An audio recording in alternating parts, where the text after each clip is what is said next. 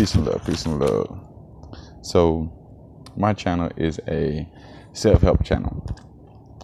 Uh, so, basically, I can't tell you what to do or what you should do, but this is just one way of many ways to do things.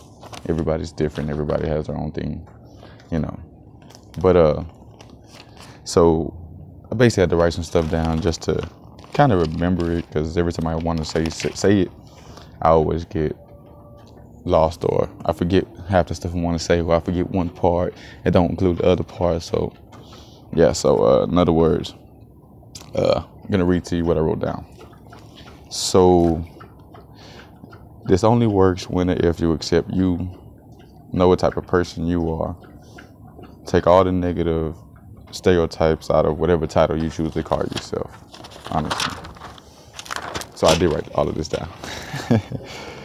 uh, for instance, I choose to call myself L7, which L7 is the, it's the, it's the I can't turn my, I can't turn my wrist, so it's the, it's the L7, which basically you lame, you're square, all that good stuff.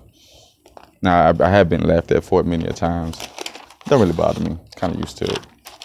But uh, so when it comes down to relationships, you have the monogamy relationship, which is the the one-on-one you and me type relationship polygamy, which is the one person, the multiple other people. I'm pretty sure they can go both ways. I'm not sure, but I'm pretty sure it can. Uh, you have the gold digger one, but it's not really gold digging. It's more so like uh, you have to provide what it is to keep me. That's the relationship. Now the I wrote eight of them, but it's really only seven because the gold digger one is not just applied for women; it applies for men as well on both sides. Then you got the women run the relationship thing, which is basically whatever the woman say goes. That's that relationship. Uh, number five was the man runs a relationship. Ah, I guess that'll be. Hmm. Guess you can go with the other one. Uh, for six, well, with the five, the uh, man runs a relationship is basically the opposite of the woman running a relationship. Then six, you have the spirit, the free spirited person or the free spirited relationship, which is everybody do their own thing. And you got open relationships where it's we together, but when we apart or we out doing other things, we do our own thing. And I have the independent relationship, which is the 50-50 relationship. Now, like I said, it only works if you take the negative stereotypes out of whatever it is. Like, so normally it's the man supposed to go to work, uh, the man provides type of thing.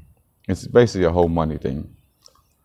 But it's all like it's also more so on you as an individual. If you can get past the jokes, you can get past anything anybody say because society tells us things only have to be a certain way.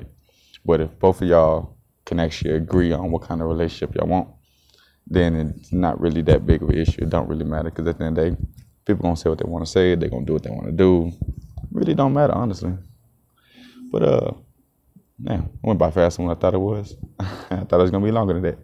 But uh, it's a great day. Hopefully, it's got somebody.